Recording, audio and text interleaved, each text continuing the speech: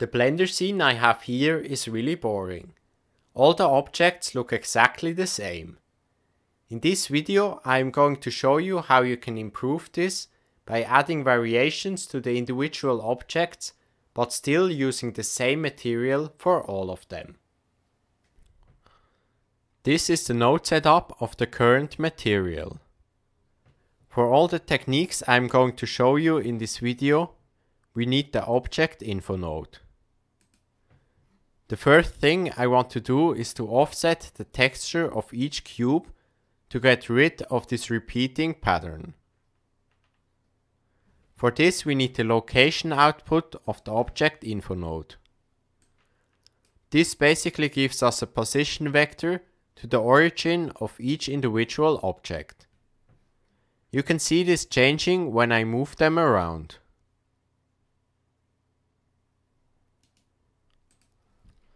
To now actually offset the texture, we need to mix the texture coordinates with the location. To do so, I add a vector math node and plug the location into the second input. As you can see, the repetition is now gone. You can see this changing when I turn the vector math node on and off.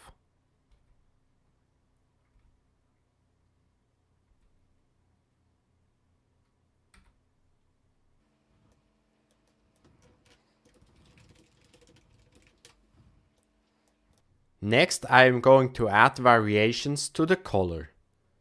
To do so I add another object info node and plug the color output into the second input of the mix RGB node. This color output is based on the viewport display settings in the object properties. Now you can set a different color for each object while still using the same material on all of them.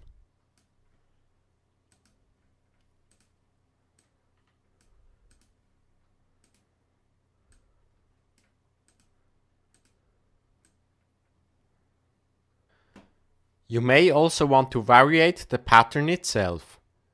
To demonstrate this I duplicate the wave texture and make some adjustments.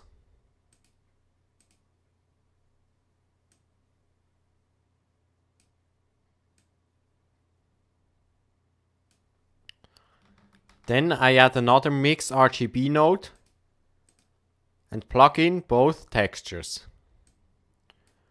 For the factor I'm going to use another object info node and plug the object index into the factor.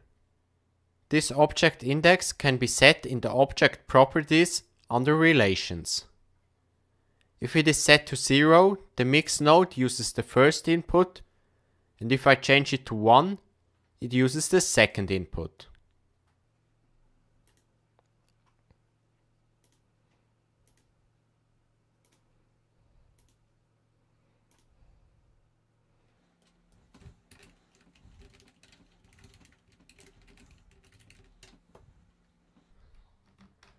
Next we are going to add a bit of randomness to the pattern. As you can see, this random output gives every object a random value. We are going to use this to drive the scale of the textures. If I just plug this into the scale inputs, you can see that this is way too big. This is because this random output gives values between 0 and 1. To fix this, we can simply add a map range node and use the two toMin and two toMax value to set the range of the scale.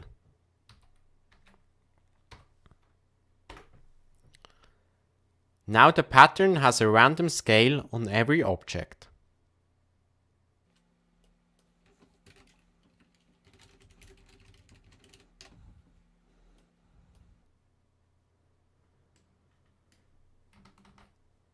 I also want to quickly show you how you can use this random output to get random colors.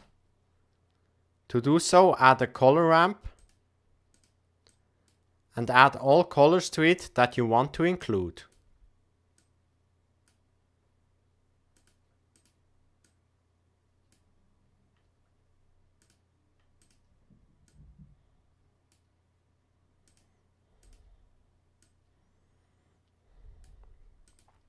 If you want to use the full color spectrum, change the color mode to HSV, the interpolation mode to far, and set both stops to the same values.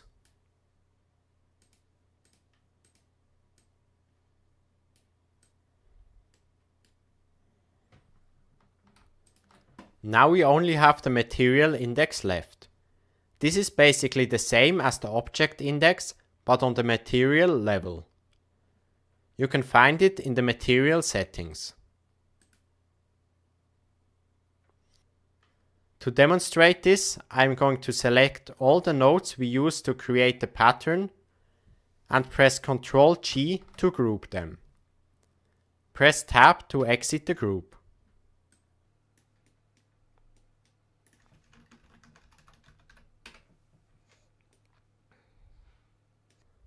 Then I select the red cube and apply a new material to it. I want it to be metallic and have a low roughness. But I still want to use the same pattern we had before. To do so, I import the node group we just created and plug it into the base color. Now I also want the stripes on the metallic material to be white while still being black on the others. To do so I press tab to enter the node group and add another mix RGB node. I make the first color black and the second one fully white and plug it into the mix RGB node we already had. Then I add another object info node and use the material index to drive the factor of the mix node. Now I can go into the settings of the metallic material and set the pass index to 1 to make it use the second input for this material but still keep it black for the others.